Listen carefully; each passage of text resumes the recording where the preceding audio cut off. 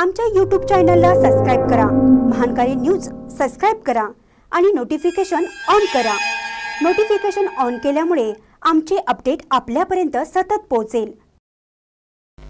कुन्नूर येथील प्राथमिक कृषीपत्तीन सहकारी संघाच्या संचालक मंडळाची निवडणूक नऊ फेब्रुवारीला. कुन्नूर येथील प्राथमिक कृषीपत्तीन सहकारी संघाच्या संचालक मंडळाची निवडणूक नऊ फेब्रुवारी रोजी होणार आहे. या निवडणुकीसाठी एकूण बारा जागांसाठी एकतीस उमेदवारांनी अर्ज दाखल केले आहेत.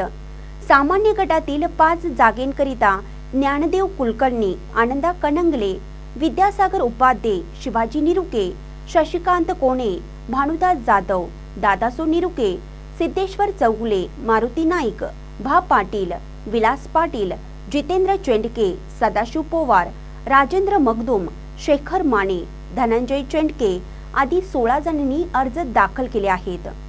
तर परिशिष्ट जातीतून बाबू मदाळे रमेश नाईक परिशिष्ट जमातीमध्ये एकमेव मेघा बुरुड यांनी अर्ज दाखल केला आहे.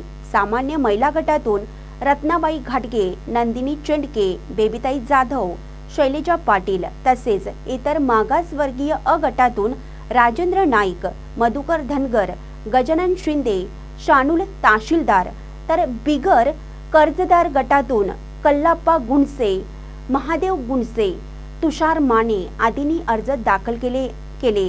उद्या रविवारी अर्जाची छाननी होणार असून सोमवारी दिनांक तीन रोजी अर्ज माघार घेण्याची मुदत आहे.